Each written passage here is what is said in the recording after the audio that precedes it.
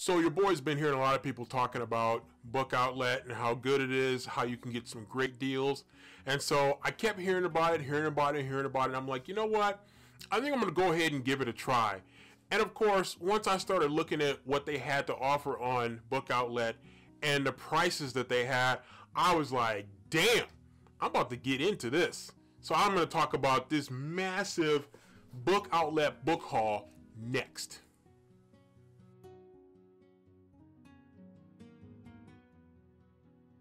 All right, so I went like really crazy here with this book outlet book haul. I don't even know how many books. I think I got like 20 or 25 books in this haul and I'm telling you, I just went crazy. There were just so many good books like, you know, for like a dollar a piece. Um, and book outlet, if you want me to like endorse, you just hit me up and I'll, and I'll, uh, I'll give you that endorsement. But I got some really good books that I'm actually really excited about. Um, I'm not going to go deep into depth about. Um, I'm not going to go into great depth about all of these because it's just too many, and I don't want the video to be like 45 minutes. So I'm just going to like touch on some of them real quickly and just kind of you know keep it moving real quick. So I've got this first batch of five books here that I'm going to show you. Um, the first one is it's called Dreamland by Jennifer Latham. History isn't over yet. Um, some bodies won't stay buried. Some stories need to be told. When 17 year old Rowan Chase finds a skeleton on her family's property, she has no idea that investigating the brutal century old murder will lead to a summer of painful discoveries about the past, the present, and herself. So it just sounded like a great book, you know, with kind of some history going on there. And I thought, man, you know what? This this sounds like something that I'm really interested in. So I thought, hey, it was really worth it. Uh, again, Dreamland Burning by Jennifer Latham. Next up is After Anna by Alexa Out. See, don't assume that it's always a woman. Next up is After Anna by Alex Lake. Uh, USA Today bestseller. The real nightmare starts when her daughter is returned. And so, uh, a girl is missing, five years old, taken from outside her school. She has vanished, traceless. The police are at a loss. Her parents are beyond grief. The daughter is lost forever, perhaps dead, perhaps enslaved. But the biggest mystery is yet to come. One week after she was abducted, Anna is returned. So just a, a great, uh, really an interesting sounding mystery about a child kidnapped and then mysteriously returns, and that's when the story actually really begins. Next up on the hall is I'm Traveling Alone by Samuel Bjork. And this is one that I thought was interesting. It's kind of a detective story, and I'm gonna read a little bit of the back cover. From international best-selling author Samuel Bjork comes a chilling and fast-paced thriller in which two detectives are slyly pursued by the killer they seek to uncover. So, sounded like a good mystery right there. Maybe a little bit uh, slightly disturbing uh, cover photo right, or cover art there, I should say, uh, with the uh, little girl's legs right there, kind of dangling from uh, the top of the of the uh, of the book right there. But really kind of um, interesting looking cover that was kind of attention grabbing in its own right, but seemed like a really good story and I was willing to give it a try. Next up is The Dark Lake by Sarah Bailey, and this is another one that sounded really interesting to me. Um, just a little bit from the back cover here. Rosalind's secrets didn't die with her. The lead homicide investigator in a rural town, Detective Sergeant Gemma Woodstock, is deeply unnerved when a high school classmate is found strangled, her body floating in a lake and not just any classmate, but Rosalind Ryan, whose beauty and inscrutability exerted a magnetic pull on Smithson High School. First during Rosalind's student years, and then again when she returned to teach drama. So it just sounded like a good mystery that kind of uh, maybe covers different generations here. Uh, kind of nice looking uh, art right there with the water there, the dark lake. Um, just kind of a you know, kind of a simple in some ways, but effective in some ways as a cover. So it sounded intriguing. It was a good buy, and I was all in. Next up is Tell Me Lies, and you can see it's kind of an interesting uh, cover right there. Uh, Carola Lovering, hopefully I pronounced that correctly. Uh, but Tell Me Lies, and then it's got uh, some lies crossed out, and uh, Tell Me You Love Me, Tell Me You Need Me, Tell Me I'm Yours, Tell Me It's Not Over, uh, Tell Me You'll Change uh, a novel, Tell Me Lies. So uh, it just sounded like a really interesting um, story. I'll read this uh, right here from Kirkus Reviews. Passion, friendship, heartbreak, and forgiveness ring true in Lovering's debut, a fast paced ride through hookups, breakups, and infidelities. There are unforgettable beauties in this very sexy story. So, a lot to sink your teeth into there. Sounded really good, very intriguing cover art, and I thought, again, it was worth it for the price through Book Outlet. Next up is kind of a sports book that uh, I've kind of seen for many years and I've never actually got it. Uh, it's by Walter Dean Myers. It's called Game. And uh, it was uh, one, it's like one of those really short, uh, kind of speedy books that you could probably read in like one sitting while you're waiting for your plane at the at the airport. Uh, how deep is your game? Uh, Drew Lawson knows basketball is taking him places. It has to because his grades certainly aren't. But now his plans have run square into a pick. Will his game carry him to college, or will Drew become another one of the great ballers in Harlem who never made it? So, kind of a one of those crossroads stories where you have uh, a, an athlete in this case and reaches the crossroads, and will he take the right fork in the road, or will he take the wrong one? You'll have to read it to find out. Okay, next group of five coming up right here. Next up right here is All Is Not Forgotten by Wendy Walker. Um, and then here's a actually a little uh, snippet here, a little review from Karin Slaughter, fine writer in her own right. Deeply intriguing and provocative. And uh, here's some more from William Landry, author of Defending Jacob, an assured, powerful novel that blends suspense and rich family drama. It is, in a word, unforgettable. So kind of a small town story um, with a local party and set in Connecticut. Um, so it's kind of an interesting story, and I saw it uh, again. It was a good price, and I was like, you know what? It, it's a really intriguing cover art, and I kind of like that. And I thought, you know what? It's worth it to put in the uh, box there, and it's a pretty damn big box. And I'm looking forward to maybe checking this one out. Next up is The Cliff House by Amanda Jennings, and uh, couple of the reviews on the front haunting and evocative. Uh, a beautiful, stirring story of obsession. I mean, most people really like obsession stories. I think that's uh, almost a, almost a given here. I'm going to read a little bit of the inside cover. Cornwall, summer of 1986. The Davenports, with their fast cars and glamorous clothes, living in the dream, living. Cornwall, summer of 1986. The Davenports, with their fast cars and glamorous clothes, living the dream in a breathtaking house overlooking the sea.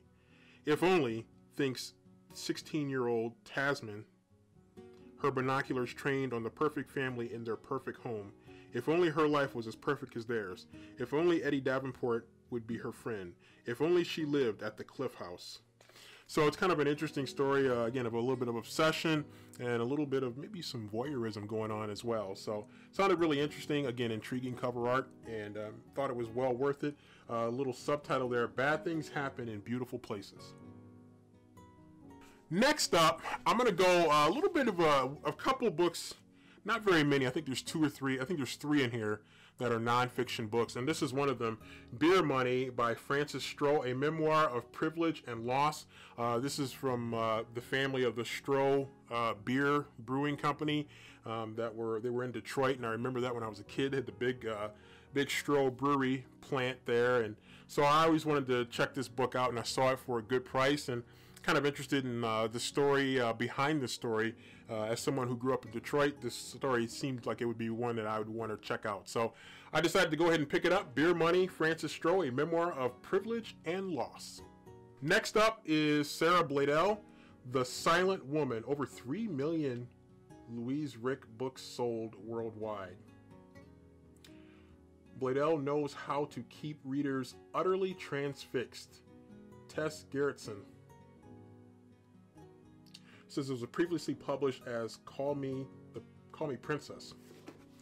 Um, an online flirtation can have horrific consequences, as Detective Louise Rick discovers when she is called to an idyllic Copenhagen neighborhood where a young woman has been left bound and gagged after a profoundly brutal rape attack. So you can kind of see where this is going, uh, where you have uh, dating websites, you have a, a, sexual assault, a rape, and uh, a detective uh, on the scene right there. And there's actually a review here from Oprah.com, which is kind of interesting. Sarah Blaedel's great skill in weaving a heartbreaking social history into an edge of your chair thriller while at the same time creating a detective who's an emotionally rich and real as a close friend. Oprah.com. So sounded really interesting. So I was like, hey, I'm gonna go ahead and last in this stack. I've got uh, looks like three more stacks to go uh, before I get done. So uh, batting down the hatches here for this one is Blended by Sharon M. Draper, New York Times bestselling author of Out of My Mind. And I thought this one would be kind of a cool one here. So I'll just read a little bit of it. Uh, there's a few quotes here, little teaser quotes. You're so exotic. You look so unusual but what are you really? So you're kind of getting into some identity uh, things that happen with people, especially people of color, especially people who are biracial. And so I, I saw that and I thought, you know, this is going to be uh, really interesting. And also kind of the, the emotional tug of war between parents um, that sometimes kids have to go through. And so I thought it would be really interesting. Uh, very cool cover art right there. She's got the ice cream cone right there. And then she's got, looks like a, a little chunk of uh, maybe vanilla ice cream, maybe a chunk of chocolate ice cream spilled there and blended together. So blended, huh? Get it? Actually, it was really cool though. I, I really like this very simplistic and yet powerful and deep cover art. First of the last three stacks of books here.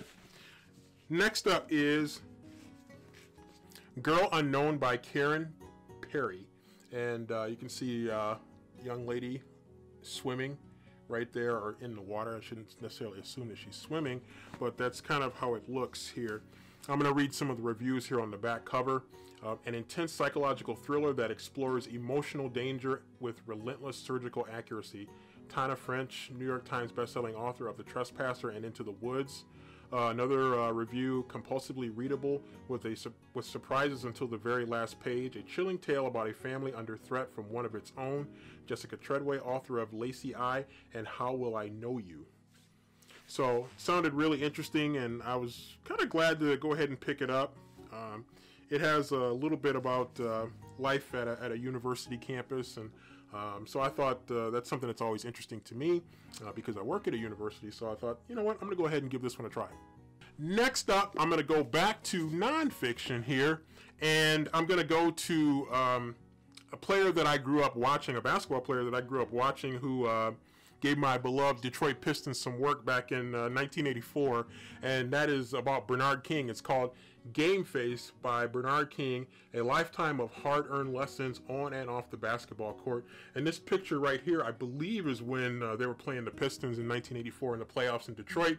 And uh, he had just a monster series in that game. And he uh, ended up with a devastating knee injury, and somehow he managed to come back from that. Nowadays, those kind of knee injuries aren't quite as big of a deal, but uh, back then it was a really big thing, and he came back from it and came back at a high level. He also had some personal demons that he dealt with, so I'm really kind of interested in reading this book. Again, got it for a good buy off a book outlet, so it was well worth the gamble.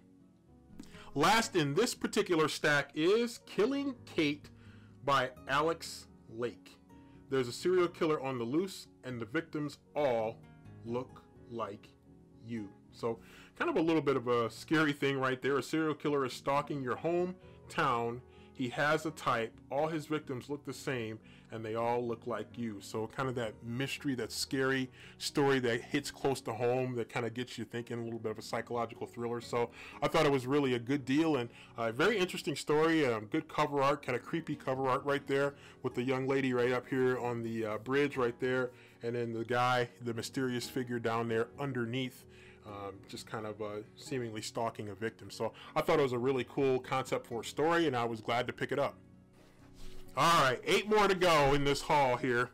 Next up is Perennials, a novel by Mandy Berman, and it sounded like a really interesting uh, book for me. And um, I'll read uh, one of the reviews from it.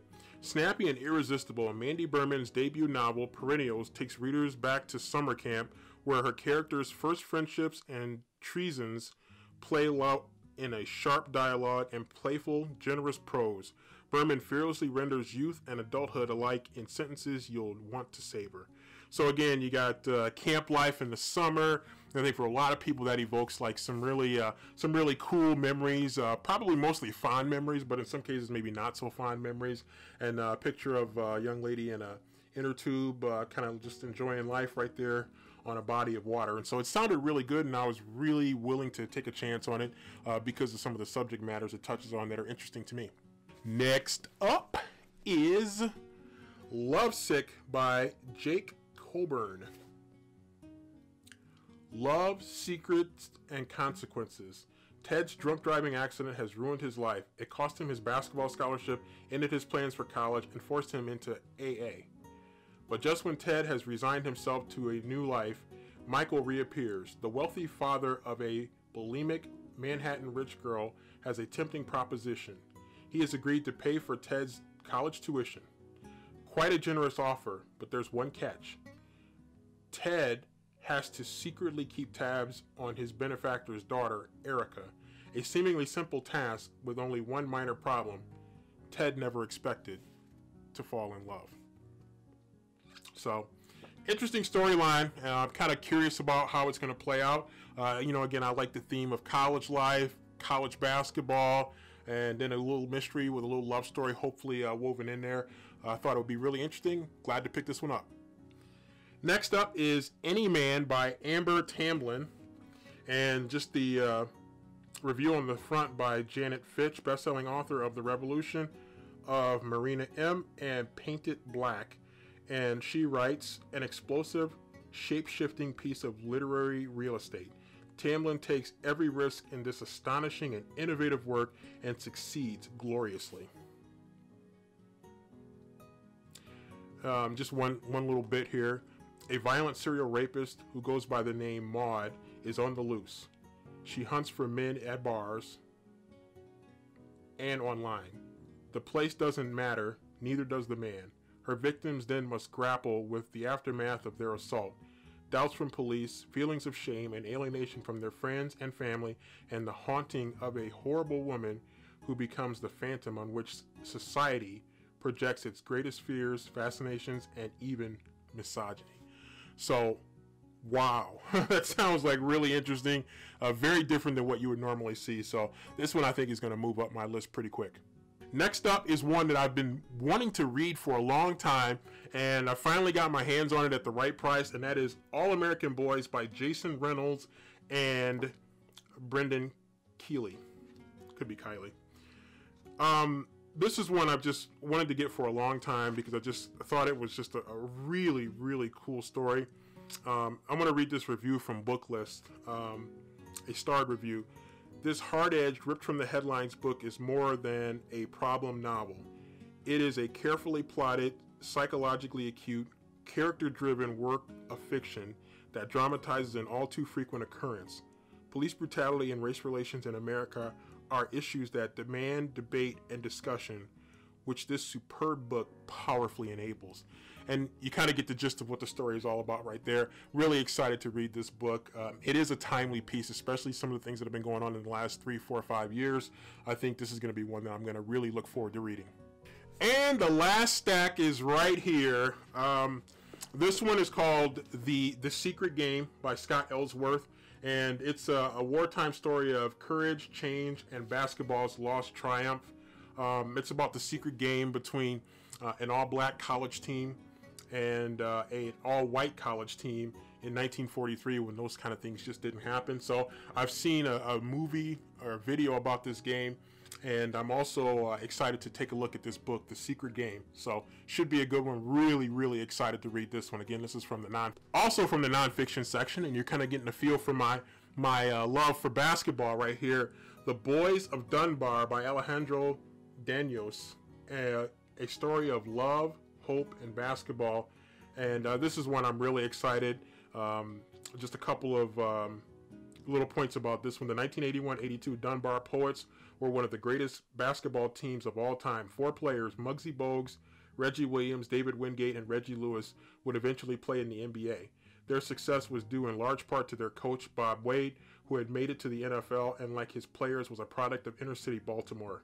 Wade understood both the opportunities and the obstacles and would not settle for anything but success. The Boys of Dunbar is an unforgettable story of dedication, inspiration, and teamwork. So, really excited to read this one. Uh, I, re- I, recognize all these names uh, from the years and years and years of me watching basketball, studying basketball at pretty much all levels. So, I'm really excited to read this book. Two more. Hang on with me. Next up, The Little Black Lies by Sandra Block. And a really intriguing cover art right there. Kind of a mysterious looking uh, look right there from the young lady in this. Um, a darkly intriguing mystery that pulls you in deep and doesn't let go. Meg Gardiner, Edgar Award winning author. Um, she helps people conquer their demons, but she has a few of her own. In the halls of the psychiatric ward, Dr. Zoe Goldman a, is a resident in training dedicated to helping troubled patients. However, she has plenty of baggage of her own, when her newest patient arrives, a beautiful sociopath who murdered her mother, Zoe becomes obsessed with questions about her own mother's death.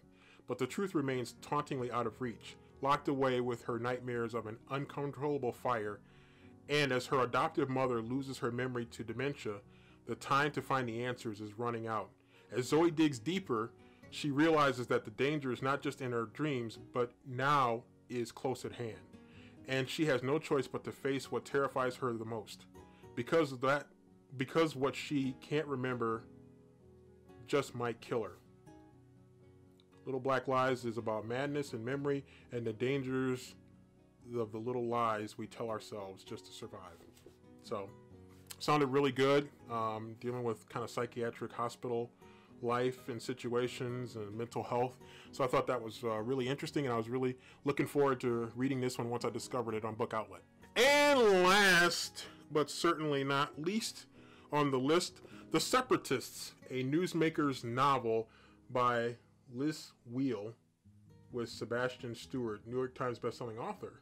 Um, so this sounds really cool. Journalist and newscaster Erica Sparks is only planning to report on an explosive story until she gets caught in the middle of it. After getting the green light from her network to launch an investigative news show, Erica flies to Bismarck, North Dakota to investigate Take Back Our Homeland, the nation's largest secessionist group. What she finds is profoundly disturbing, a growing threat to the future of our union. Back home, her husband Greg is drinking more and talking less, and taking an unusual interest in the glamorous author Leslie Burke Wilson.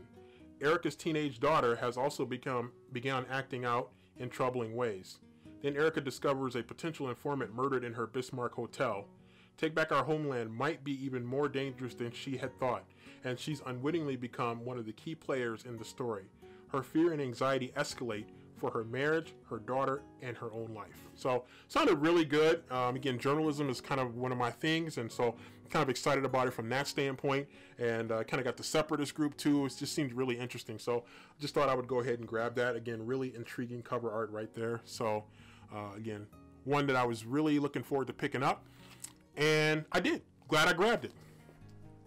So that's it with the big book haul. Um, just a, a, really great haul. My first time trying a book outlet, and things went really smooth. Uh, they took care of me. Um, I was able to get my books really, really fast. Um, the checkout and the pay was uh, really easy to take care of, and so uh, just a, a, great haul. I just could not be more excited about the books that I was able to get, and for the prices that I got them to, it was just uh, impossible to beat. So really excited about that and looking forward to making my next order on Book Outlet, but not until I knock out some of these books right here. I've got a 50 book challenge on Goodreads and I'm about 10 books in here coming toward the end of the month of February. I'll probably get at least one more book read before the end of February and uh, then we'll see. So I'll be uh, well on track. It says I'm 10 books ahead of schedule, which is good for me and I'm looking forward to uh, really smashing that Goodreads uh, goal of 50. And uh, this book haul, I think, is going to play a big role in me smashing that Goodreads goal. So if you would, smash that like button and also hit the subscribe button if you would. If you're interested in more content from BookTube and AuthorTube, uh, I'm going to have a lot more videos coming up, and I'm really excited about really re- reinvigorating that passion for reading. And so, going to have some good uh, book reviews coming up here in the not too distant future. And excited to share some of my thoughts with you. And I hope you will share some of your thoughts with me on some of these books. Have you read any of these books that I had in this haul? If so, let me know what you think about them. And uh, I'd love to get some conversation going as I start to bite into some of these books and uh, keep this uh, reading goal going. And hopefully, again, smash that 50 book record uh, for Goodreads. It would be a personal record for me, uh, probably not for other people, but it would be for me. And so, really excited about that. So, that's it for now. Uh, join me for future videos on this channel. Boom. Peace.